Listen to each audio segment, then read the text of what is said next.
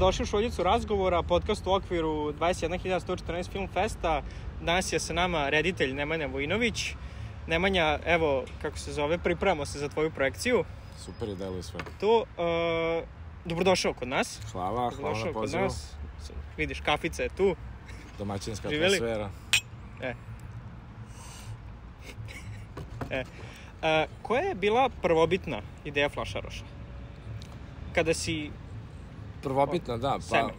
ideja prvobitna je bila potpuno u drugom pravcu a, mahom da bude bez ljudi, da bude skoro nenarativan film. Znači, trebalo je da bude više neki eseistički fazon, a, ono, sukob, šta je prošlost vinčarske kulture, sadašnjost, moderniz, a, moderno vreme, konzumerizam, džubrište i to. I da to stvari bude taj neki upakovani, da kažemo, neki tako ovaj, film. Međutim, naravno, kad sam došao i kad sam video na što sve to liči, kako izgleda deponija, koliko ljudi tu ima, da ima ljudi uopšte, jer ja nisam principirao da, da tu ima radnika, mislio sam da su tu samo mašine, ptice i da se skoncentrišemo na taj vizualni deo.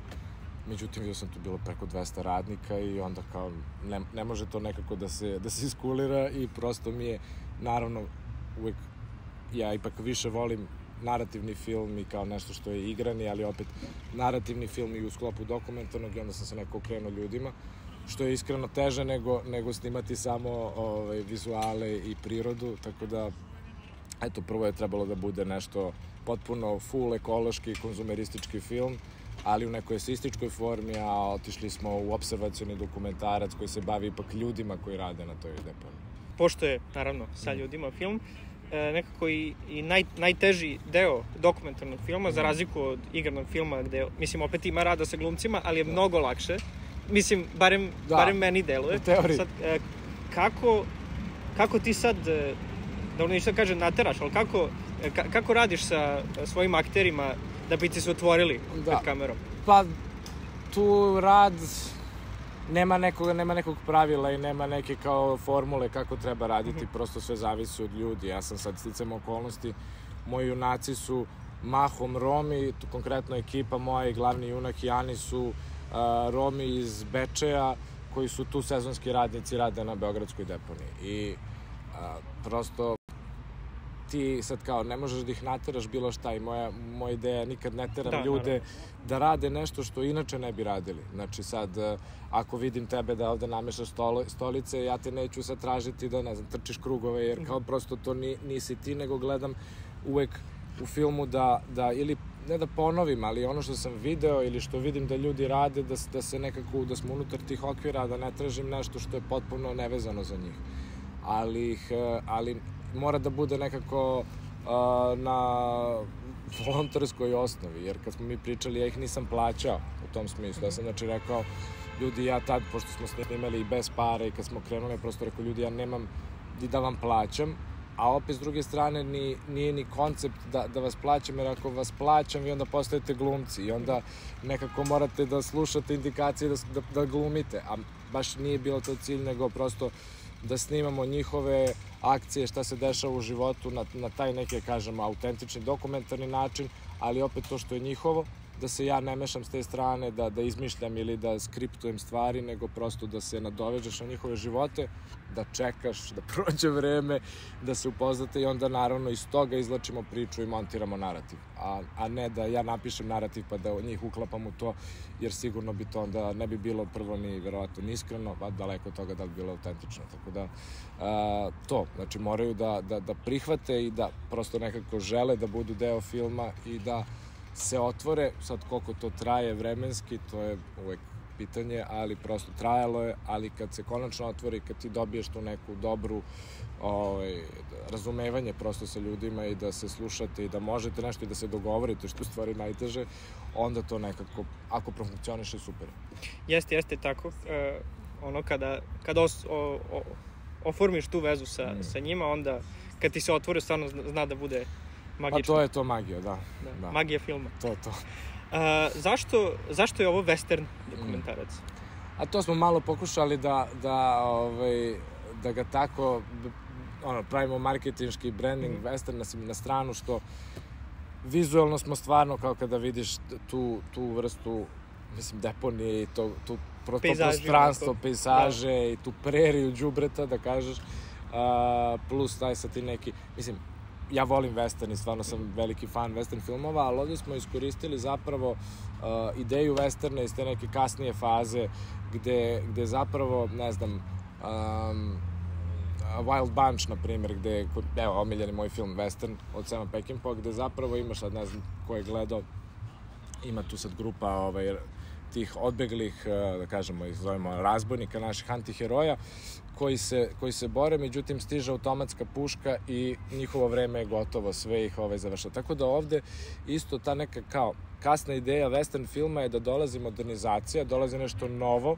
moderno u odnosu na to svet koji junaci poznaju i to nešto novo i moderno ih potpuno briše sa lica zemlje i nemaš više, ne postoje više i nestaju. Tako da u ovoj slučaju U ovom slučaju mi smo imamo, mi imamo flašoš, imamo sakupljače, sve koji su tu na deponiji, međutim dolazi ta neka nova sila modernizacije koja je zapravo sa te neke nova postrojenja, nova vrsta deponija i to, ali ona čisti i sklanja sve naše junake i prosto a, nestaje taj svet koji je postojao, taj naš flašoški svet i, i onda je to ne, zapravo ta neka kao suštinska ideja westerna. Iako mi nemamo a, te neke kao duele u smislu kad kažu Podne. ljudi ono žele ono duel u podne imamo kao malo imamo malo nekih stvari konje pejzaže imamo čak i neke reference na na na western filmove ne znam sceni kada čekaju kamion da dođe pa spavaju to je on neka referenca na bilo je jednom na zapadu Kad, li kad ono- spavaju na kad prugi, spavaju da pruzi.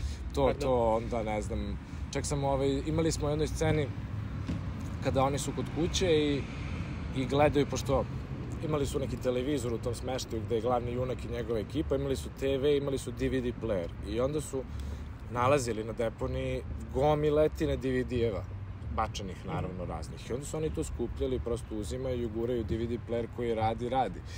I onda sam našao, jedan, jednom sam bio I oni su gledali Bruce Lee-a, neki Fist of Fury. Ja rekao, jao, koliko je ovo dobro, pa bukvalno to je to. Znači, Romi, Kung Fu, kao ono, kliše najgori, ali kao to je to, uhvatiš kliše. Moramo samo da prekinemo. Izvinite!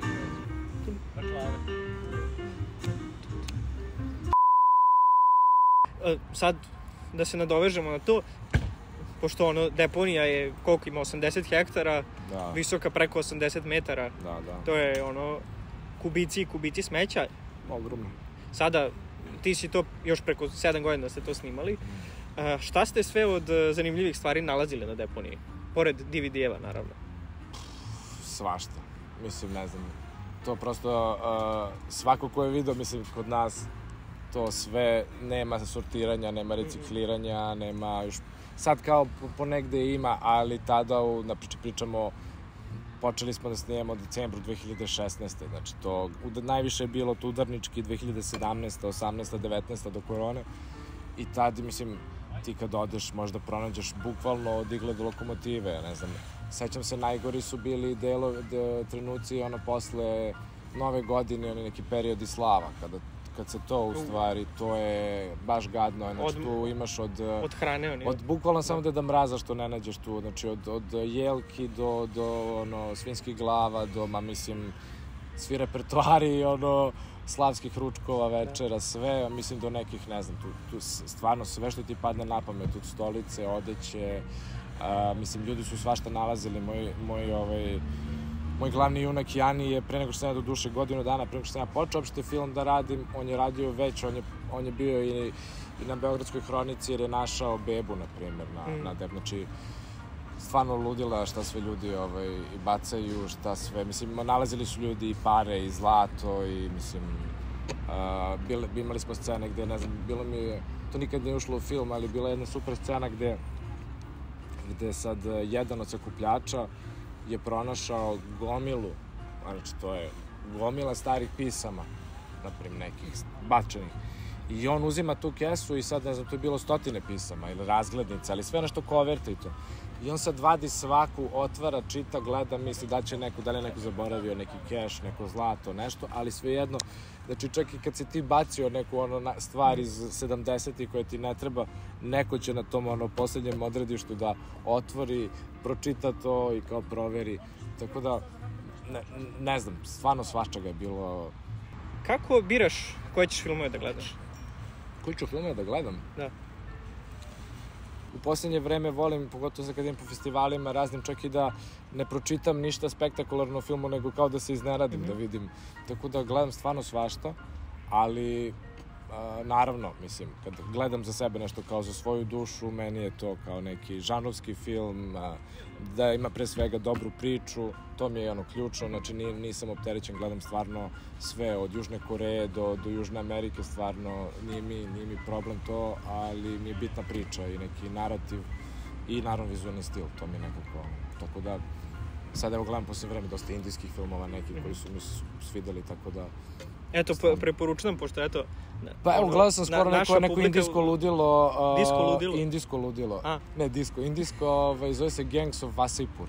Znači, neki film koji bili su čak i, ovaj, bili su u Kanu pre par godina sa to, a to je neka kao gangsterska saga, ono, svaki film je, ima dva filma po tri sata i to prati se neka porodica, kako se ono kao diže od, od ono, od, ne znam, 60-ih, da, pa do, ono, do dan danas. Naprimer, to, to mi je bilo zanimljivo, znam da je montirala to je ova Scorseseova montažerka Telma Showmaker i, i ovaj, ima, ima super stvari, eto to. Za kraj, e, da li, e, da li se priprema nešto novo?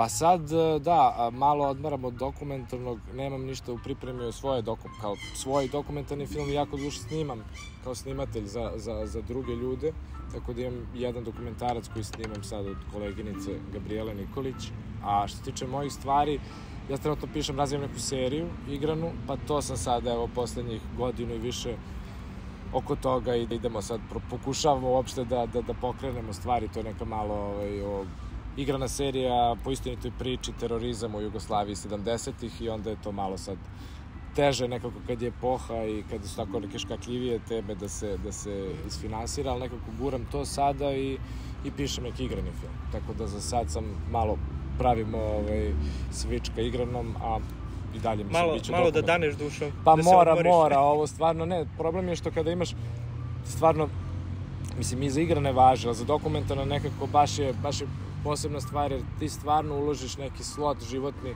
od 5 do 7 godina koji, koji kao daješ. I sad, ok, mi je bilo to prvi, drugi film, kao daš 5 do 7 godina. I ode mladost. I ode, da, sad kao uradio si dva. Ove, ali ne, stvarno sada prosto uh, mislim, moram da vodim računa. Želim stvarno da nekako ne bih, da olako ulazim u, u tako kao u neke akcije, nego stvarno moram malo pažljivije da, da vodim računa čemu ću da posvetim to od svojih 5 do 7 godina života, plus mora još, naravno nikad ne može samo jedna stvar da se gura, mora uvek više stvari, pošto je prosto tako je. Tako da eto, moram samo pažljivije da biram te slotove gde ću potrošiti narednih ono, 5 do 7 godina na koji film. S dokumentarnim, da, pogotovo. Evo. Nemanja, hvala što si bio. Hvala na pozivu. A vama, dragi gledalci, slušalci i pratioci, hvala što nas slušate. Dođite na festival da gledamo filmove i da se družimo. Ćao! To je bilo to od Nemanje i mene, a vi dođite večeras e, ovde da gledamo filmove. E, ovde na Ikino bioskopu imat ćemo proglašenje pobednika Zlatnog čepa i projekciju tog filma. Zatim ćemo imati e, još dva filma, Gru Tuje i Bosanski lonac. Kod Teodore ćemo imati selekciju animiranih kratkih filmova i i, bio, i na bioskopu 2025 ćemo imati filmove do 2 minuta. Dođite, uživajte, vidimo se. Ćao!